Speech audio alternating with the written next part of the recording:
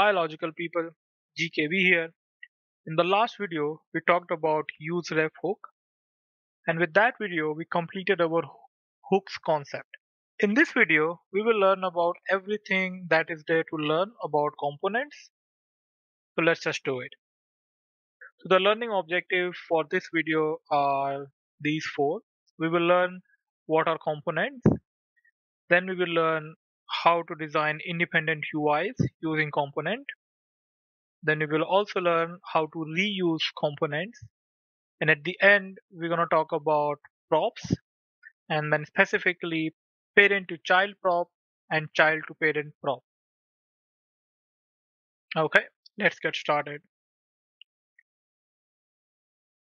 So what are components? As always, we will go to Google and look for what are components. Let's have a look. So I'm back to my Chrome browser. I'm going to open Google and I'm going to search for components in React. Components let you split the UI into independent, reusable pieces and think about each piece in isolation. Hmm. I think this is really nice explanation what a component mean and uh, from my point of view, what it means is that you can actually create different sections of your component into different pieces, and then you can reuse them as and when required. Brilliant. Now let's jump back to our VS Code and let's get our hands dirty. Okay, to get started for components, what I'm gonna do is I'm gonna create a new folder called components because you know it makes sense to put all your components into one place. So in your root directory just right click and say new folder and just call it components like that. Inside components I'm gonna create a new file and I'm gonna call it dominoes.tsx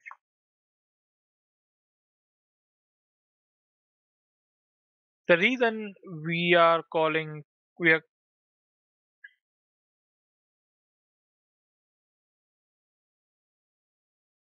the reason I created a Dominoes component is because we're gonna build a very simple Dominoes pizza outlet okay?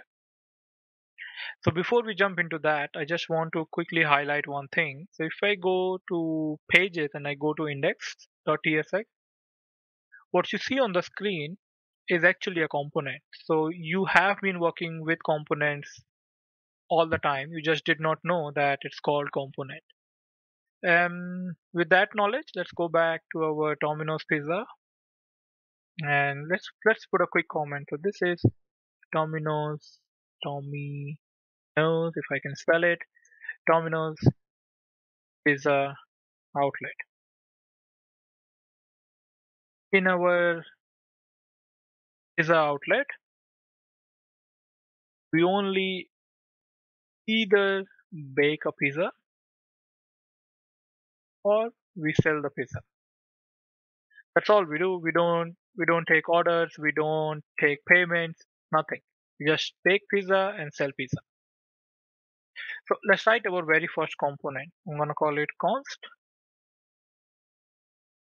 dominoes equals to return. In maybe in H3 hi I am from pizza place. Pizza outlet. And I'm gonna give it a name I'll say logical pizza outlet. You know because why not? And let's export this because of course React needs to know that how to find this. Export default Dominoes. Beautiful. Now how do we use this component? It's very simple. I'll go to index page for example. Here, just the way we use HTML tags, we're gonna use components. I'm gonna say dominoes and hopefully and hopefully VS Code will figure out where this component is. So I'm going to click on it. I'm going to save it. In case domin VS Code is not able to find your Domino's pizza, you're gonna import it like this. Okay. So let's go back to our localhost and see what's happening. So it says hello world and it says hi I'm from Logical Pizza outlet. Nice. So if we, if we quickly go back to our to our learning objectives, we say we wanted to learn what are what are components. So we just learned that it's reusable piece of code, right, with its separate UI. Now there's another learning concept that we want to cover, which is components for independent UI. What this means is if I go back here and if I go to Domino's and I say, you know what, since we're not using any fancy styling, I'm just going to use inline style. I'll say, sorry, background as red. If we go back to our browser, you'll see that this component got the background of red. And that's that's fundamentally about it, right? That's what component for independent UI means. You can actually go and put whatever you like in your component and that UI or that style or that look and feel will never be shared with anyone else. It's only and only for that component. The third thing that we wanted to learn about components is about its usability, reusability. And what that means is that now since I've created this component, I can actually go here and maybe create another component, maybe another component like that. If you were Domino's Pizza, you would probably do franchisees, and this is basically your franchisee, and all of them are identical. And that's the beautiful part of components that you can reuse the same thing again and again. Perfect. I like it where it's going. The last learning objective was to learn about props. First, let's let's think about what is what is props. So I'm gonna remove all those. If I come back to dominoes what props basically means basically means is arguments or parameters parameters to a function means props are just fancy way of saying parameters or arguments to a function now if you remember from one of our earlier videos that this part what I've highlighted just now is actually an anonymous function right so this is a function that has no name but is being referred by this constant variable. Since it's a function, we can also pass arguments. So I'm going to say props. I mean, honestly speaking, you can call it anything you like. You can you can say my props. It, it doesn't matter, but props is a is an accepted nomenclature. When you do that, that means that the function or the component that is calling this when you do that, that means that the function or the component that is calling this prop can actually pass some arguments. So I would say, for example, um, outlet name equals to logical. Copy this. I'm gonna say um, math. Now notice that this part, so the left part of the variable or the prop is up to you. So this name can be anything. You just need to make sure that whatever name you use here, you just need to use the same name here to get that data. Props dot outlet name. Now this outlet name is actually coming from props. So you can actually go here and like you can say out name the left hand side doesn't matter, but right hand side does matter. There's one more thing I would like to do is I would like to log this props so that you know uh, what you are receiving, like how does it look actually. And to make it much more a bit more clear, I'm gonna pass another another another prop, and I'm gonna call it is fancy equals to true.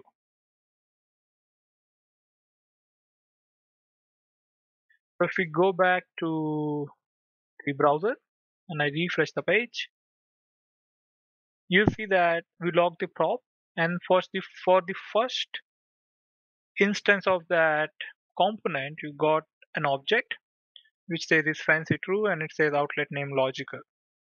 And for the second one it says outlet name maths. Now you must notice that for the second one we did not pass is fancy. So basically this props is just a dictionary and you can get data out of it like this or you can also deconstruct it in one go. You can say out name comma is fancy equals to props i'm gonna comment this. And you can also do it this way. So i'm gonna just log it out name and comma is fancy. You say that you see that it says is fancy true? Outlet name logical. And for the second one it says outlet name is maths. And since we are logging two things it says that it says that is fancy is not defined because for this component we did not pass that prop. Brilliant.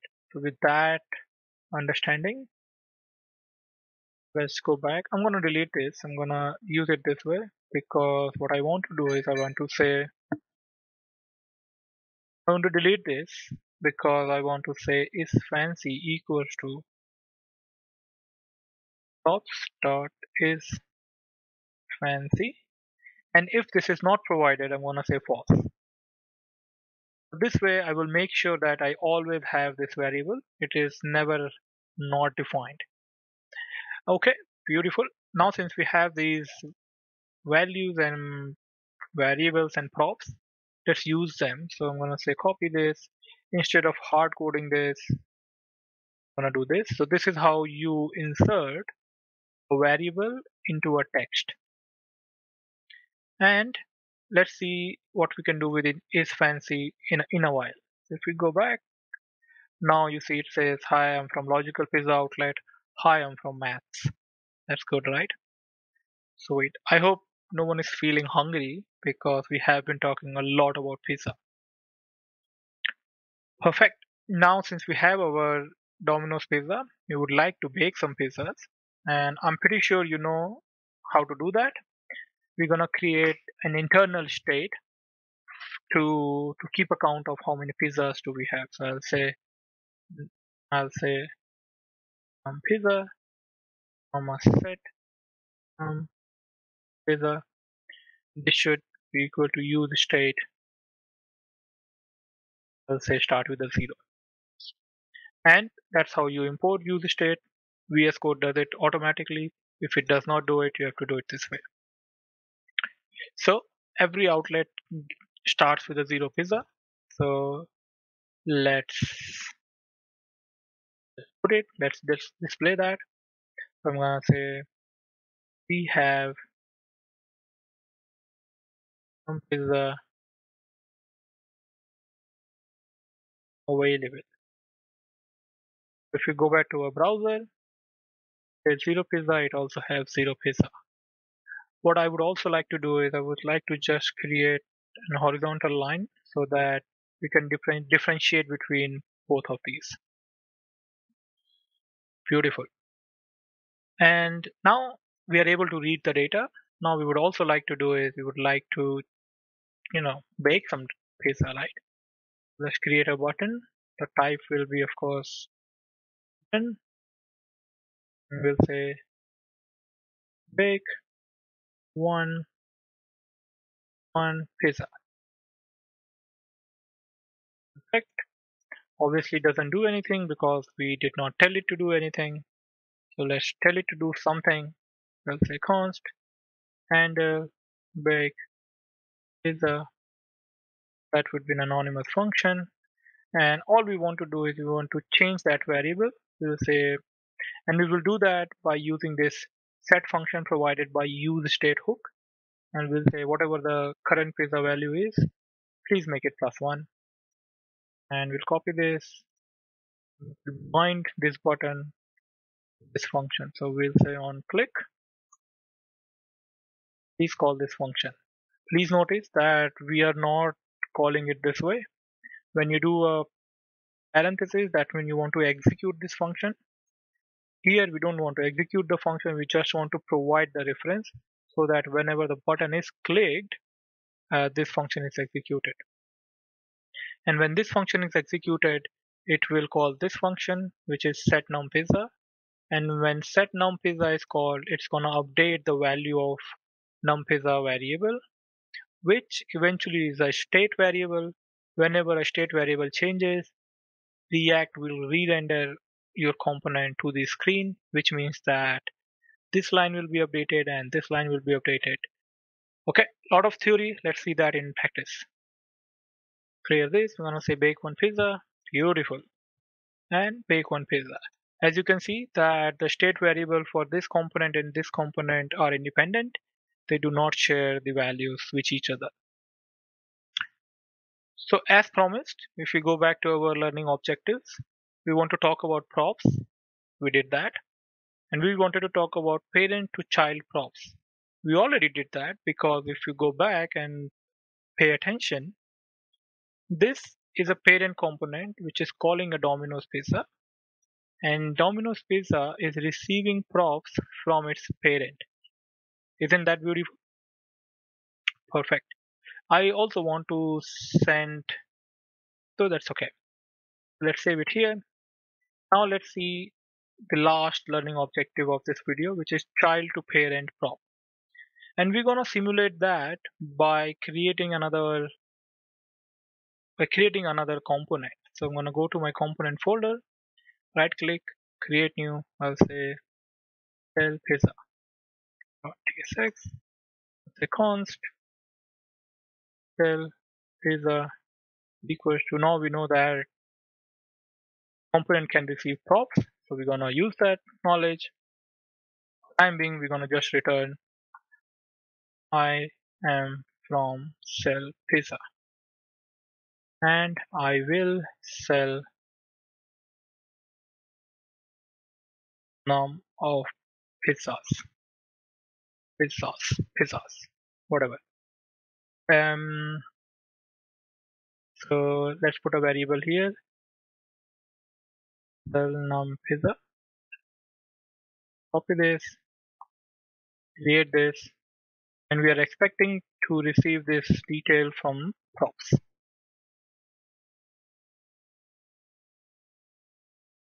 Perfect. Um, of course we need to export this so that react can find it. Beautiful.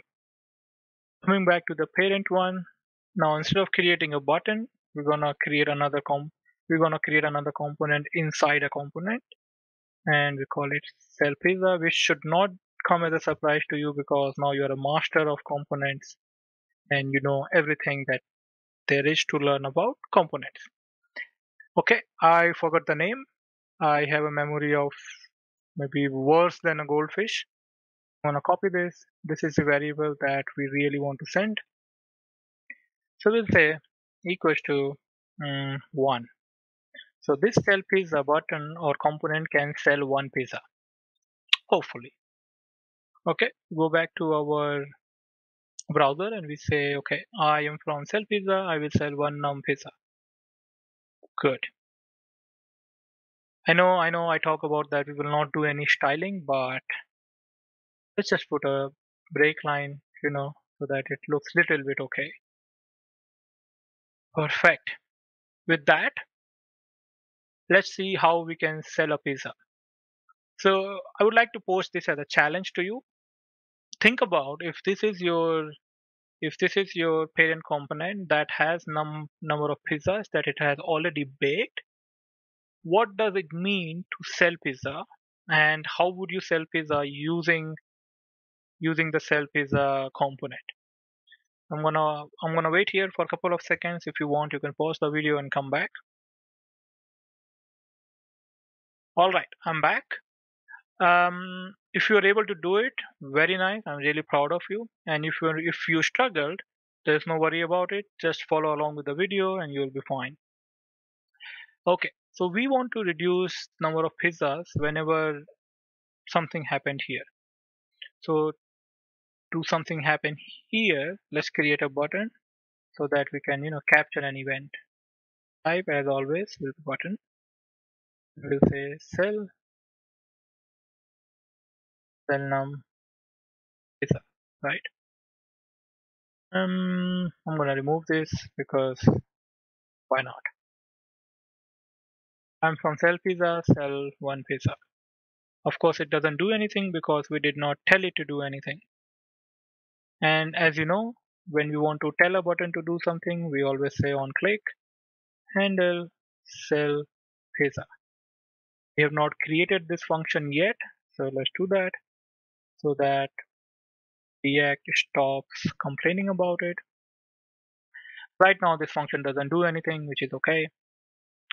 And all we want to do is we want to reduce this variable. We want to update this variable. And we have learned to update a state variable, we always use the provided function. Now, to your surprise, or maybe not, you can also pass a function reference as a prop. And what this means is that I can go here in the child component, I can say const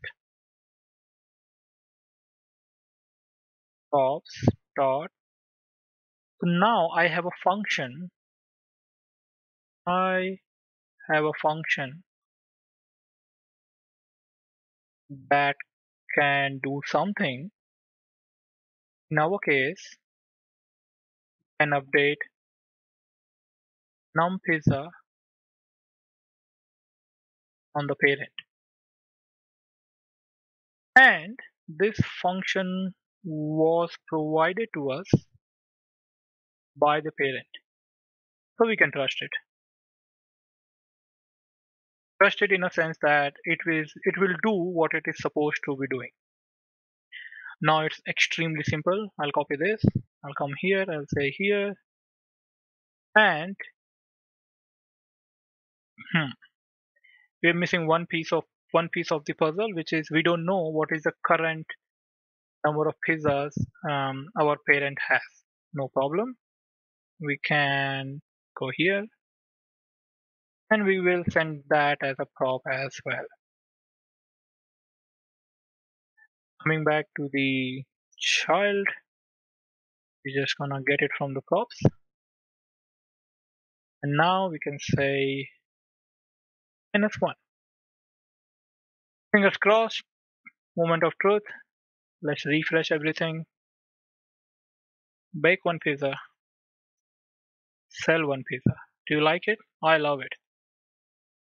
Same goes for this component. With this, we have completed all our learning objectives of this video. We learned what are components. These are basically separate piece of code that you write so that it can have an independent UI so that you can reuse them. And to do all of this, it take props as an input and the props can be sent from parent to child and from child to parent as well. And technically you cannot send props from child to parent, but you can talk to parent by using the props send via parent to the child. This might be confusing. I'm going to repeat that one more time. Domino's is our parent and we are calling this component and we are sending some props to sell pizza. This is the first part where we send data from parent to child. And you saw this already in index as well, where we call the dominoes and we sent, for example, a couple of data. Now coming to the other part where how child can communicate to parent, it is via props as well, but child never sends any prop back to the parent component. It only uses the props that are sent by the parent to the child.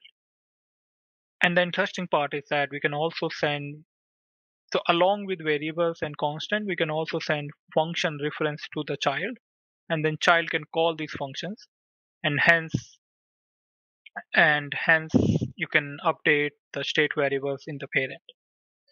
Now, the way we have designed our, you know, handle pizza is a little bit cumbersome, right? I mean, from the parent we are sending number of pizza we are also sending the function. I think it is too much. And maybe maybe the sell pizza component does a lot of things. So for example before you know reducing this number it updates it updates the database maybe checks if user is logged in to sell pizza and things like that. And to do that, we created this separate component, which makes sense. But there might be the case that you probably want to sell pizza from the parent as well. And to do that, what I would do is I would say handle sell pizza. I'm gonna make it a little bit complex, but bear with me. You're gonna you're gonna love this. Handle sell pizza, and I'm gonna say num of pizza to uh, sell. And since we are in the parent component, I can say set num pizza as whatever num pizza is right now minus this variable.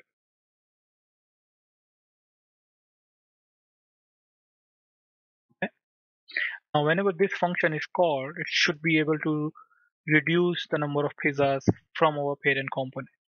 Now, we actually don't need these two. I'm going to delete this. And we only need handle sell pizza pizza. it should be that. First, I misspelled it, so I'm going to fix it. Now, if I go to sell pizza, I'm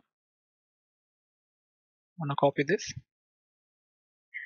And this prop should be this. We don't need this. Okay. And here we just need to call this function. We literally don't have to do anything.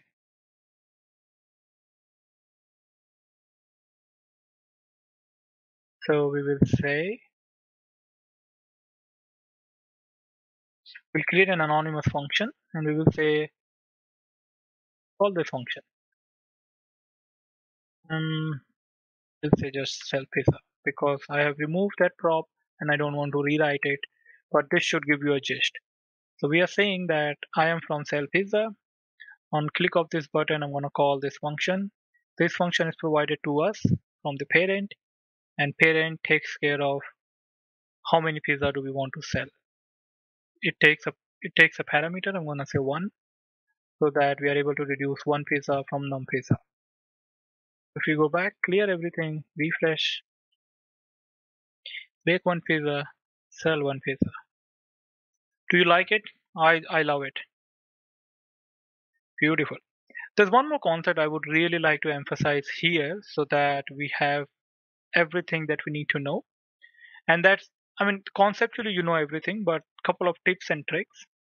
If you remember, I passed this is fancy prop to our Domino's pizza and we never used it.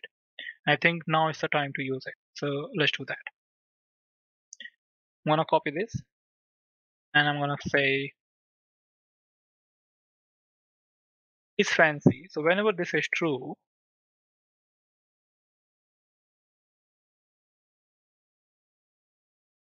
gonna um, whenever this is true, I'm gonna sell two pizzas. If this is not true, right? If it's not true, I'm gonna sell only only one pizza.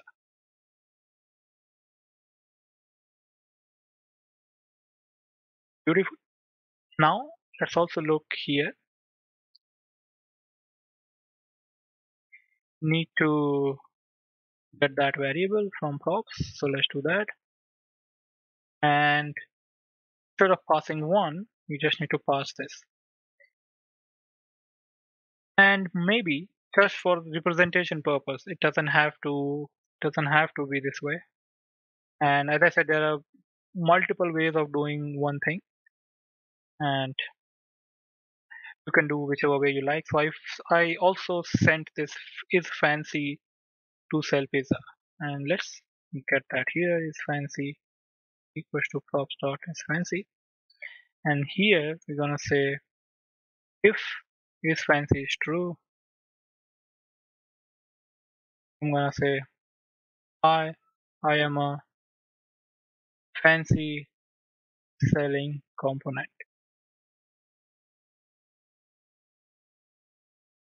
And in case is fancy is not true hi I am a you know a regular selling component. Oh my god um let's create br so that we are able to see things. So we have six pizza available we have five pizza available bake one pizza. I am from selling pizza Hi, I am a fancy selling component hold on a second there's something wrong. They both cannot be fancy right hmm.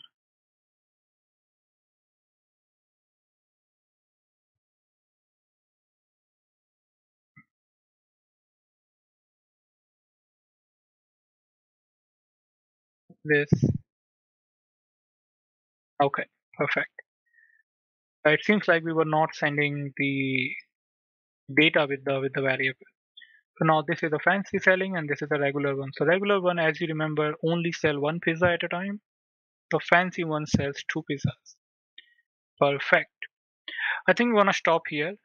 And um, as promised uh, we have covered all our learning objectives. I hope you enjoyed this video. And yeah i'm gonna see you in the next one. Until then cheers. Before you move to the next video, can I please request you to like this video and subscribe the channel. It will mean a world to me. Thank you.